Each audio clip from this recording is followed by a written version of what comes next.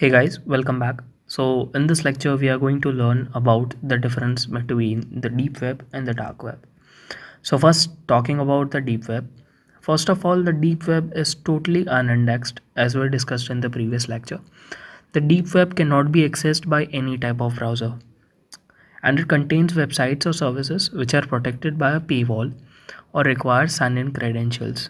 Storage space for the web. Yes, the storage services offered by Google or any other company like Google Drive or OneDrive store their data on the deep web.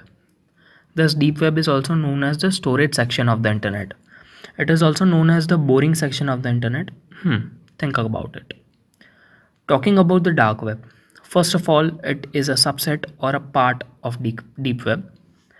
Intentionally, the dark web is kept totally anonymous, which is its best feature, of course. Unlike deep web, the dark web is unindexed, but a special browser known as Tor browser is required to access the dark web. On the surface web, you see many websites with different extensions like .com or .in or .au, but all the websites which are indexed or listed on the dark web use the .onion extension which separates them from the websites listed on the surface web. Sadly, due to the anonymity factor, Majority of the websites listed on the dark web are illegal or are just scams. Not all, but majority of them.